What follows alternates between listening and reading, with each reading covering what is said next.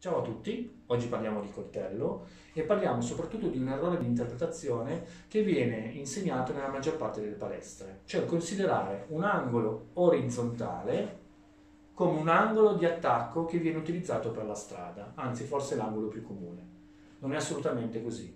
Per la strada l'aggressore, durante un'aggressione perpetrata col coltello, utilizzerà l'arma in maniera istintiva e funzionale e istintivo e funzionale significa utilizzarla dal basso verso l'alto, in questo modo qua, ok? Ovviamente in un contesto di corpo a corpo.